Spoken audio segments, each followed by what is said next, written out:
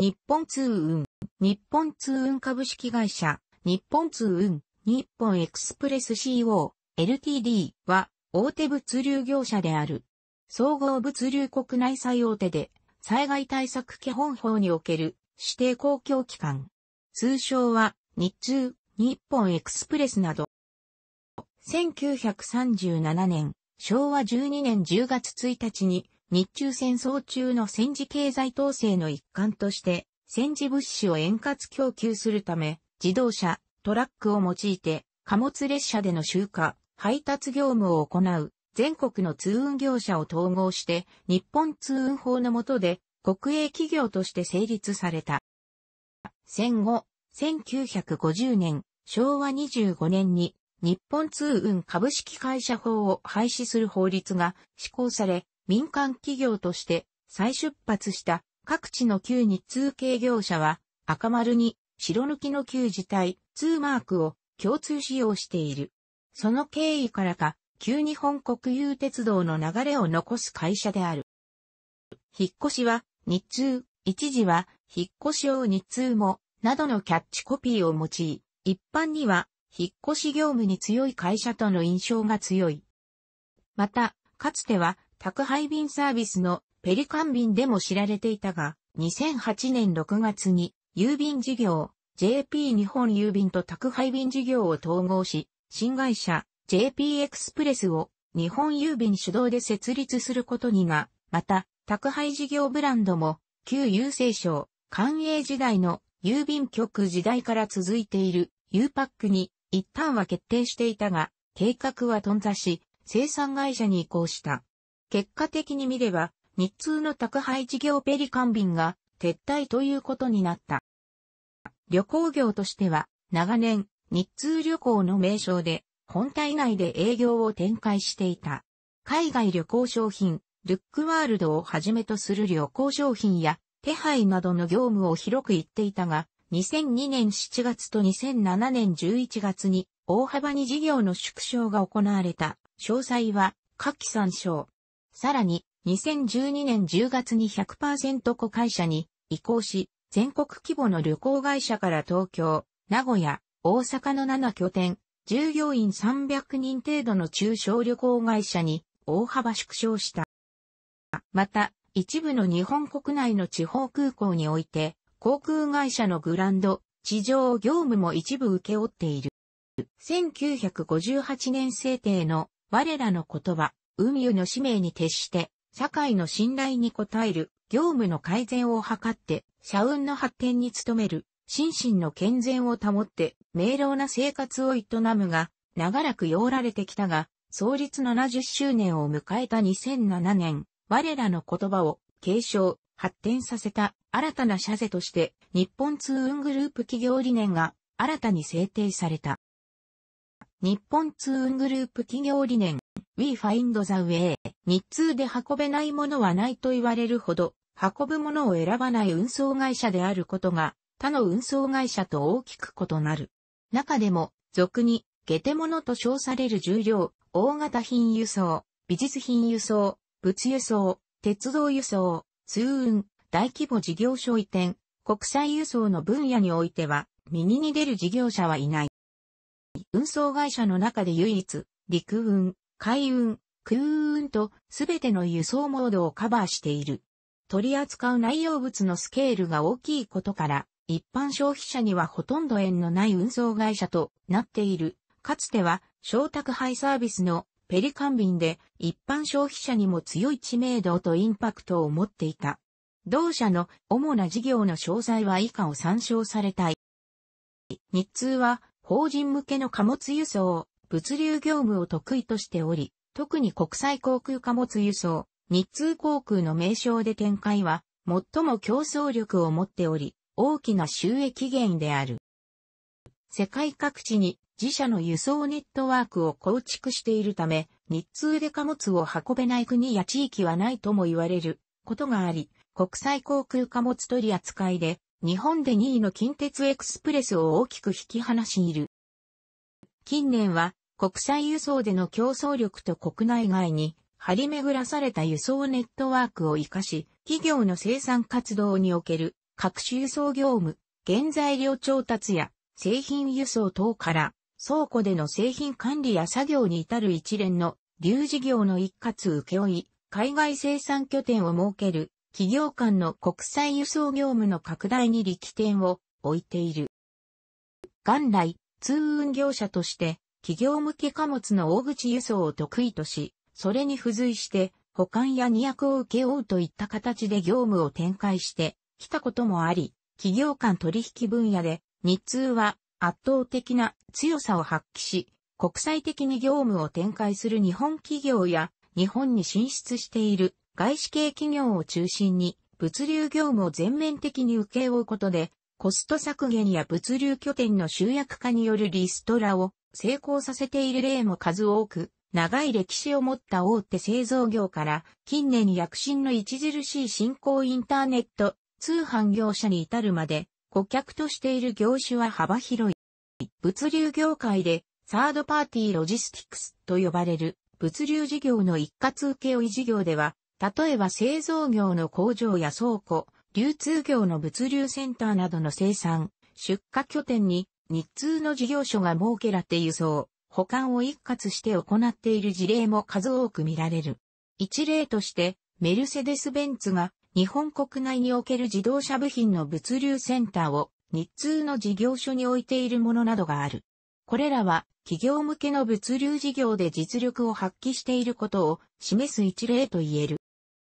また設立の経緯から公的部門の輸送業務にも強く、観光庁移転の際の引っ越し業務、政府や自治体など公的機関の輸送業務、海外、国内の見本市や展示会などを一括受託することも多い。なお、日本国政府や地方公共団体から災害などの緊急事態の際に行われる救援物資緊急輸送業務に協力する民間事業者の指定も受けている有事法制。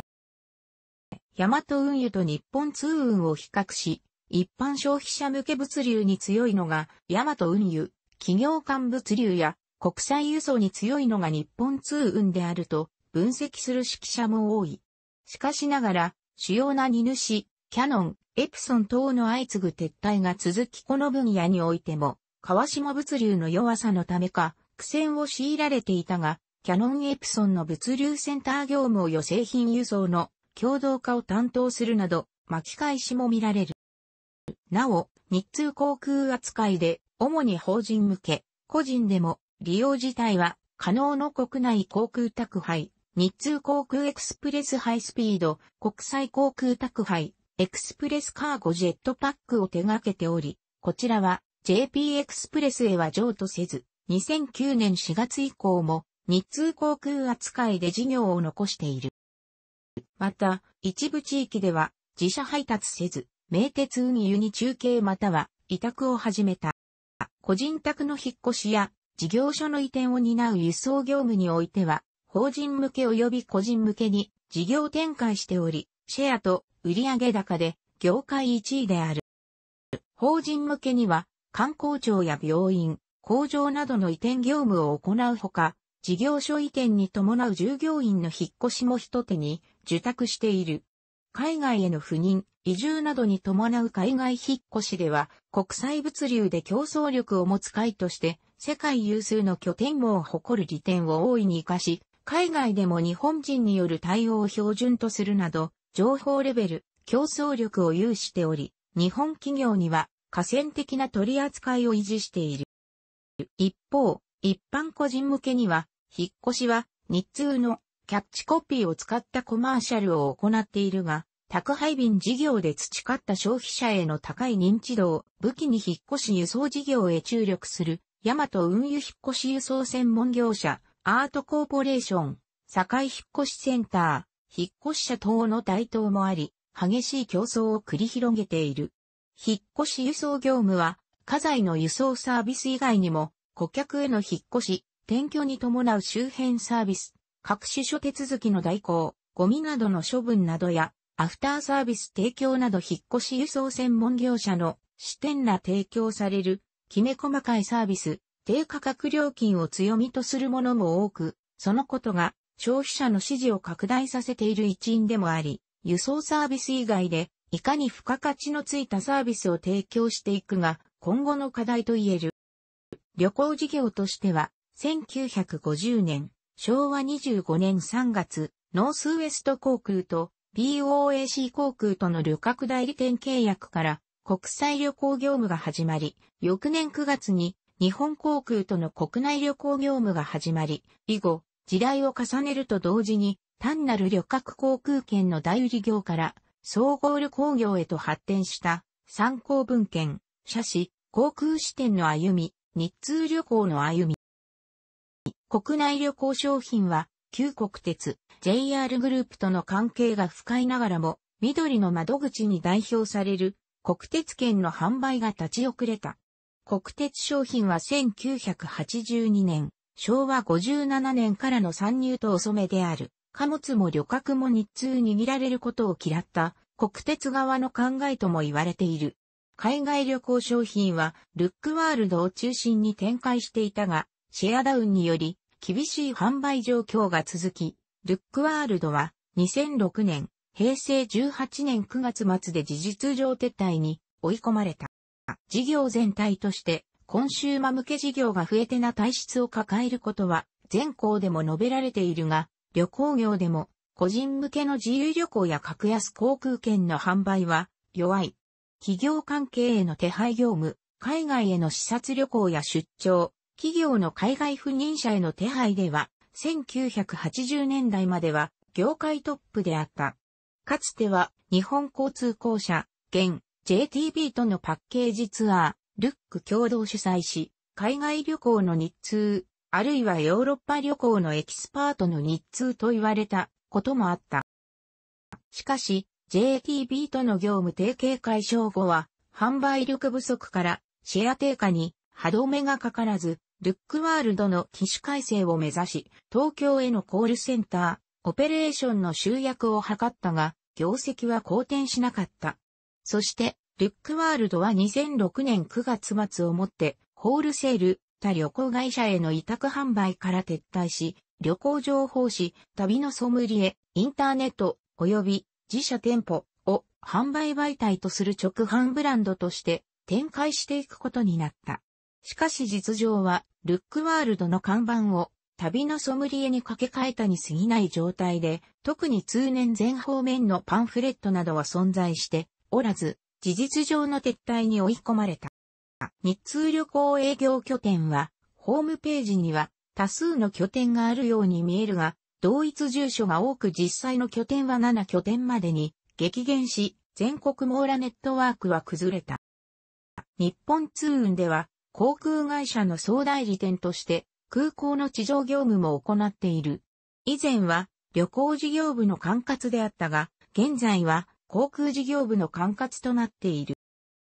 全日本空輸関連では、仙台、秋田、稚内地区での総代理店を受託、函館地区では関連会社函館やサービスで受託している。このほか、札幌岡玉空港の空港業務を受託している。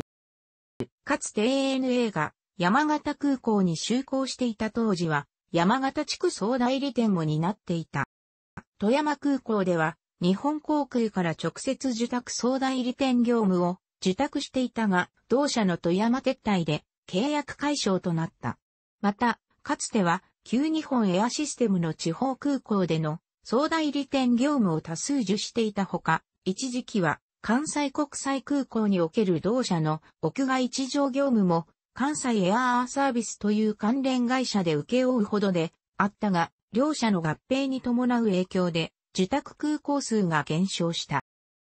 今日では北海道地区の旭川、釧路、帯広、東北地区の花巻、関西地区の南紀白浜などの空港においては、引き続き、日本通運が地上業務を行っている。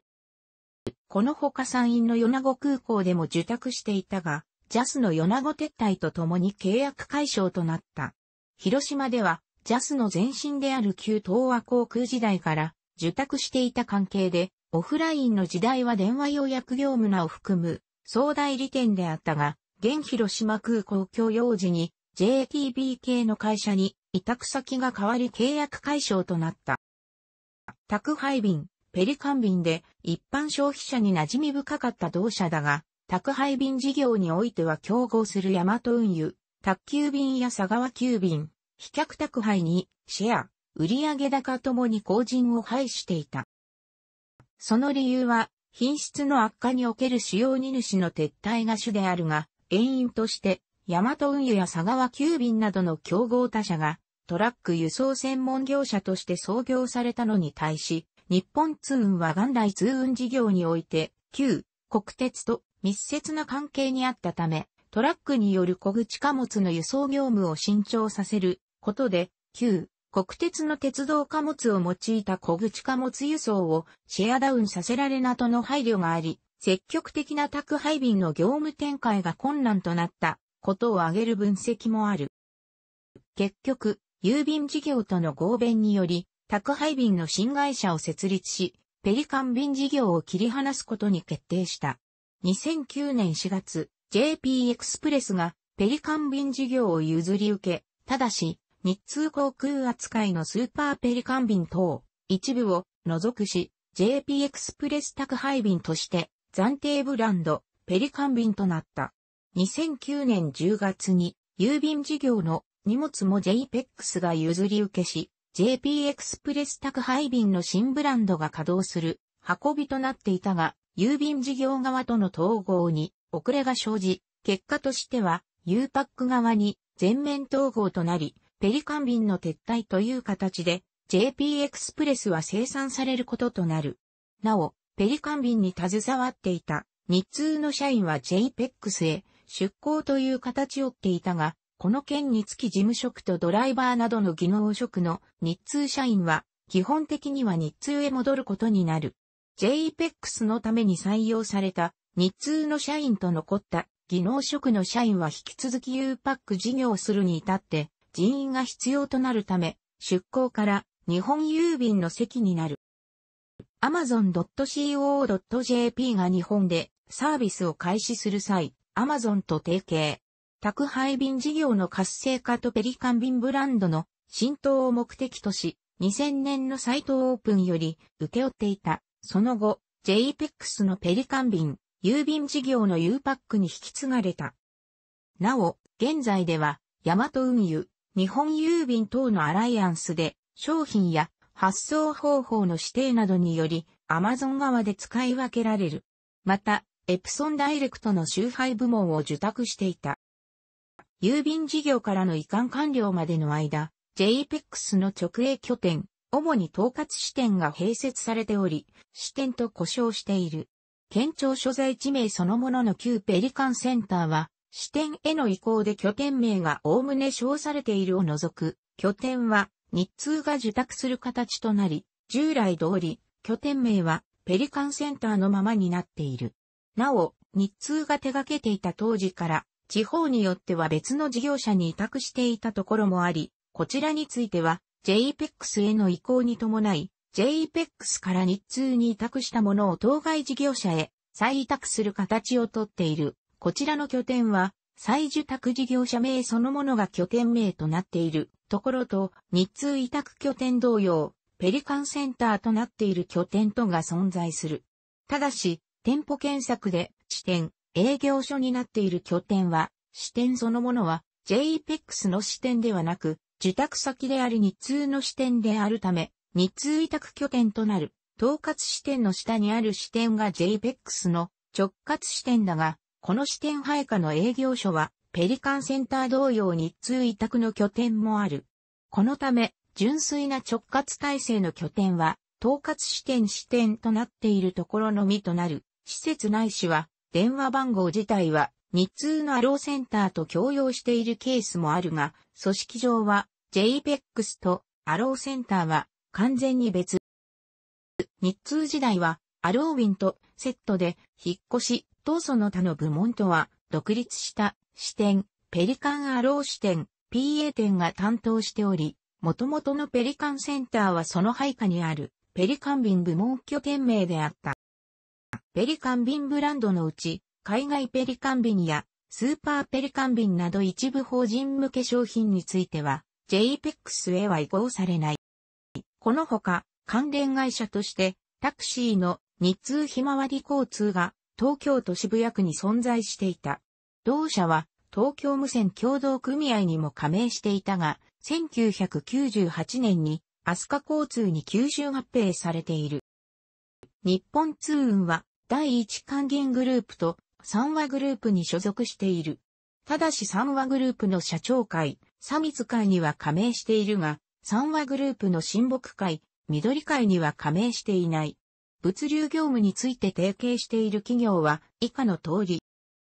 日本通運は全国の地方銀行、第二地方銀行を中心とする金融機関と顧客の海外進出に関する提携を締結している。これは提携先、金融機関の取引先で海外進出や製品の輸出を検討している号に物流及び輸出入業務のサービスを提供するもの。金融機関の為替、決済業務と日本通運の物流サービスを合わせて提供することで、包括的な海外事業進出支援サービスを構築することができる電特色である。提携先の金融機関を地方銀行、第二地方銀行を中心としているのは、それらの主要な取引先であり、これまで海外進出に独自のノウハウを持たなかった中堅、中小企業との連携を視野に入れているためである。日本通運の引っ越しについて提携サービスを行っている企業、団体は以下の通り日本通運は東京ディズニーランド、東京ディズニーシーの参加企業、オフィシャルスポンサーとして有名である。また、ディズニーオンアイスの協力企業としても名を連ねている。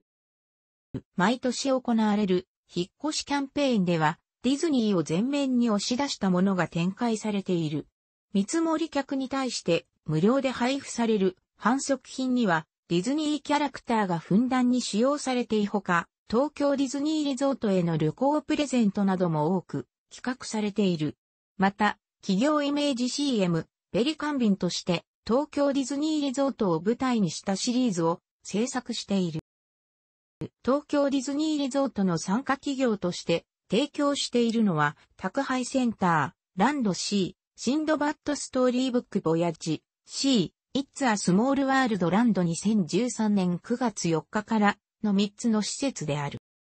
日本郵政とは、宅配便事業で業務提携をすることが2007年10月5日に報じられた。2008年6月に郵便事業と折半出資で新会社 JP エクスプレスを設立し、2009年4月にペリカン便事業は JP エクスプレスが譲り受けした、ただし日通航空扱いのものなど一部を除く。しかし JP エクスプレスは会社解散に追い込まれ、結果的に見れば日本通運の宅配事業ペリカン便が市場から撤退という結果になった。なお、引っ越し事業においては、郵便局が行う生活関連取り次ぎサービスに日本通運の引っ越しサービスが含まれている。